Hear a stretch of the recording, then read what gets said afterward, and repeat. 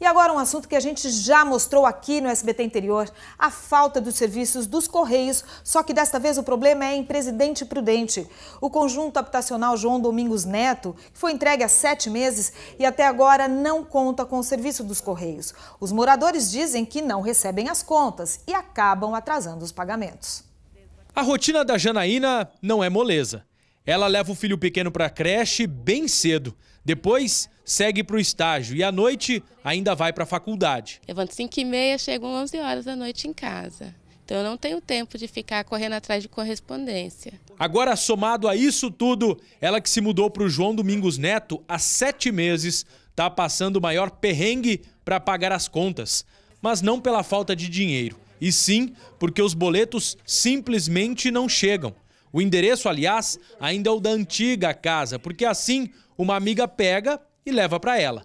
Mas, vez ou outra, cai nos juros do atraso. Por mais que as minhas amigas mandam para mim, nunca mandam no dia que chega, né? Aí acaba atrasando conta.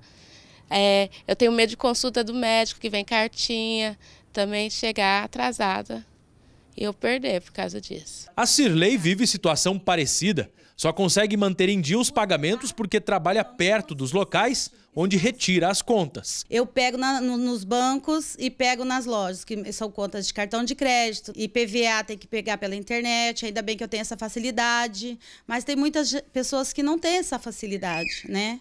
Mas para a recepcionista que pensou que a vida ia ficar muito mais fácil depois de conquistar a casa própria, na verdade, não foi bem assim. As pessoas falam, ah, é um bairro novo, vamos ter calma. Mas é muita gente, é muita gente. Colocaram aqui e simplesmente abandonaram. Daqui da entrada do bairro, no extremo da Zona Norte até o centro, são aproximadamente 10 quilômetros. Essa é a distância que os moradores do João Domingos Neto precisam percorrer para chegar até a agência dos Correios ou aos bancos. E muitas vezes em busca de uma única correspondência. A falta de um posto de serviços para correspondências tem prejudicado também os comerciantes do bairro. A Marli, que abriu uma padaria com o marido depois que os dois perderam o emprego, tem passado o maior sufoco. E água e luz não depende de correio. Então a gente recebe. Mas as outras coisas mais importantes para a gente, nós não estamos recebendo. Às vezes eu vou até o correio. Chega no correio, ah, não tá. Por que não tá? Às vezes chega, mas naquele período que chega é, dois, três dias após eles já recolhem do correio. E o que, que acontece? A gente não chega nas nossas mãos, as nossas contas para pagar. Então é complicado.